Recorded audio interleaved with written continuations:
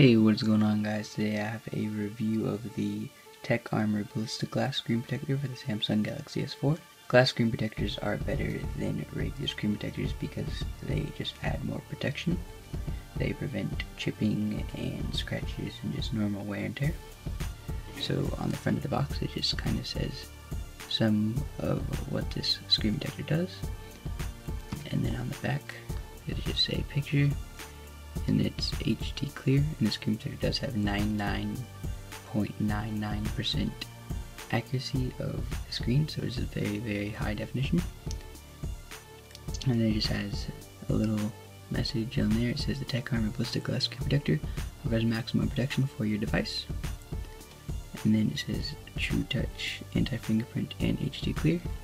And it says what is inside of the box so we're gonna go ahead and open up the box here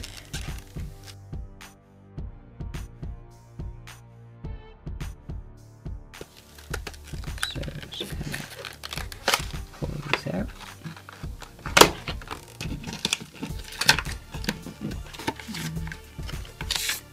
And we have, alright, so this is what we get.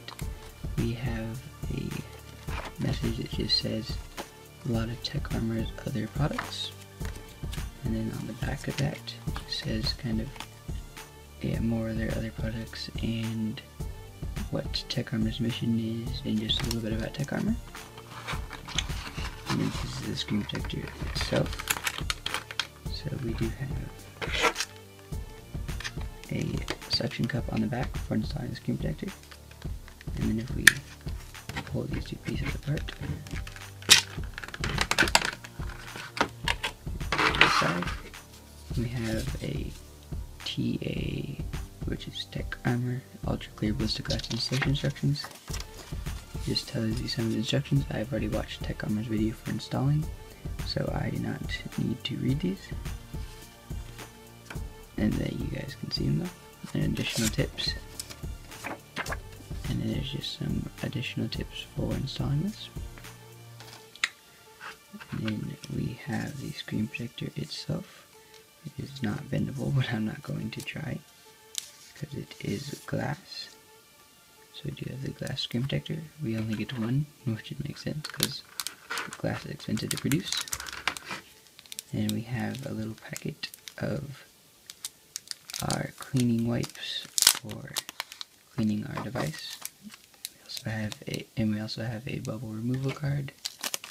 And we also have some dust removal tape and then some home buttons since the glass does sit on your device's screen you might want to elevate your home button. We have some cleaning wipes. And we also have our lint-free cloth, which is fairly good size. So put all this stuff to the side. And I'm going to install this on camera, but I'm going to speed it up but it is a very quick installation, at least it should be. So I'll see you guys in a second.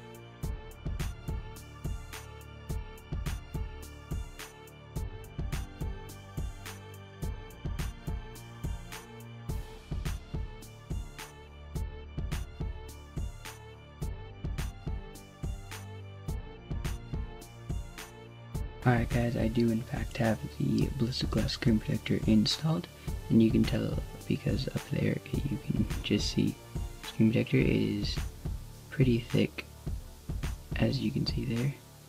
It is a pretty um, big difference with the home button so I would recommend you use this when you have it. Installing screen protector was very very easy, you just had to wipe the screen off and then just essentially put the screen protector on and there weren't any bubbles or anything like that and if you go like that you can just see that it does have amazing clarity like it looks exactly like the Galaxy S4 screens itself and it feels amazing too. It doesn't even feel like there's screen protector on there except for when the home button you can definitely tell the screen protector on there if you not have this little button on because you feel the screen protector. But yeah the screen protector is indeed very very very clear and I would highly recommend this screen protector because it is very clear and looks exactly like your phone screen and it adds a great deal of protection to your phone screen.